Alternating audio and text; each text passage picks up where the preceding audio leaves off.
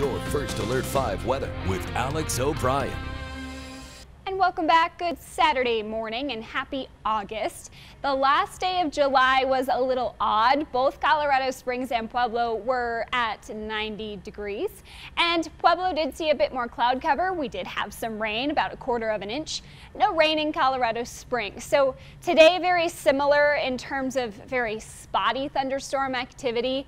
Uh, we're not looking at more widespread rain until tomorrow. So should be a good day to be outside. Lots of sun to start here in Colorado Springs and it's 60 degrees.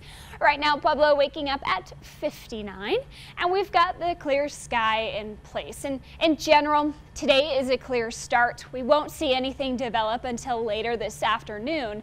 But look at this cold front to the north.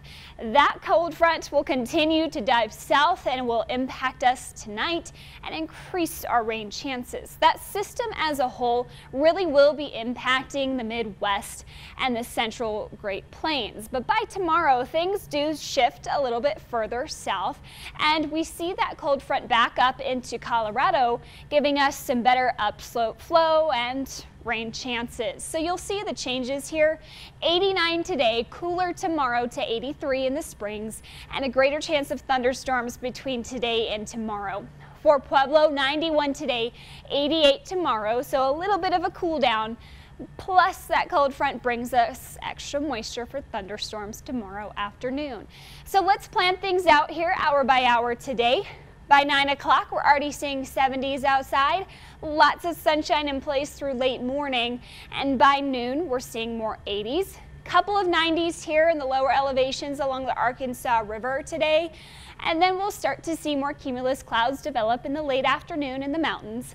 Very spotty thunderstorms are possible in the foothills and mountains today. A couple of them might make it to I-25 this evening.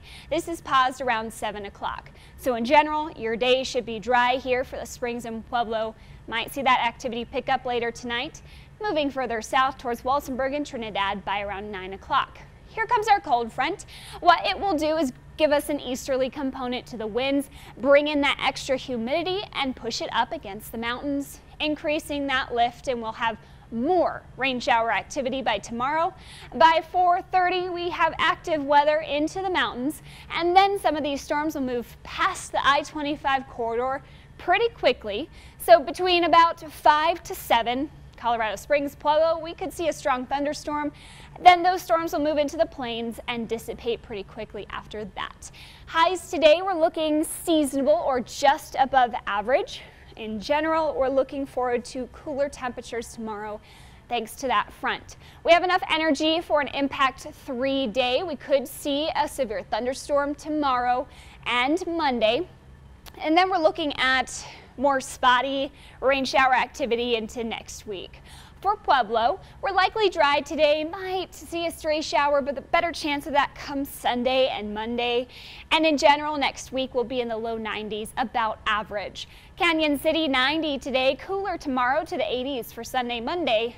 Do watch for those rain chances today, increasing tomorrow with some stronger convection.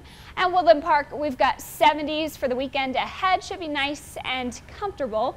But do watch for a strong thunderstorm Sunday and Monday. Renee? I don't know. I know it's still early. It's only the first day of August, but I kind of thought it would be a lot hotter to start things off, and it's not. What's up with that? You the know, front, we're just right? in a nice, front? a nice pattern where we're not getting that ridge of high pressure overhead, but hopefully this pattern stays because I don't know if I want more 90s and triple digits. I'm with you on that. Like, I, I, I, hate to even have this conversation. I'm speaking it into existence right now. so why don't we just move on, shall we?